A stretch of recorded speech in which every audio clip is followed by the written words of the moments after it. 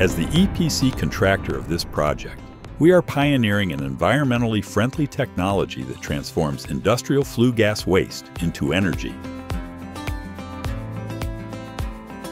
Instead of being released into the atmosphere, high temperature gases are utilized for power generation, contributing to the reduction of global warming and advancing a responsible energy approach.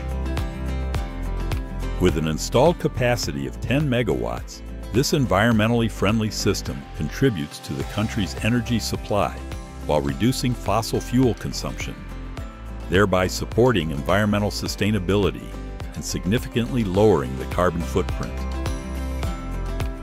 Once fully commissioned, this eco-conscious system will be capable of meeting the daily energy needs of approximately 44,000 households.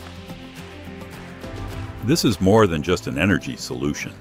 It is a tangible contribution to Turkey's green transition goals, climate policies, and sustainable development vision. We continue to deliver nature-friendly, efficient, and sustainable energy solutions for Turkey's clean energy future.